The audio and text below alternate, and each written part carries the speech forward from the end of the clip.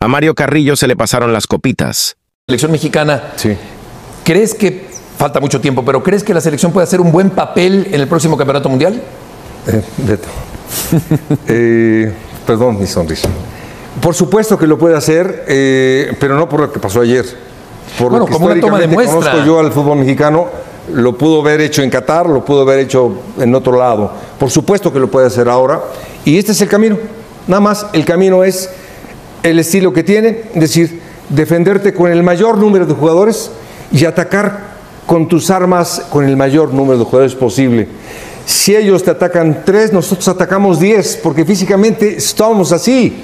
Son, tenemos fuelle, tenemos eso. Sí. Y esa arma son la que ayer, por ejemplo, eh, mostró por momentos el equipo. Eso te mexicano. quiero preguntar después del corte, porque hubo momentos donde estaba prácticamente todo el equipo mexicano metido en su cancha. Te lo Ah, preguntaré, sí, Mario. sí. Al volver,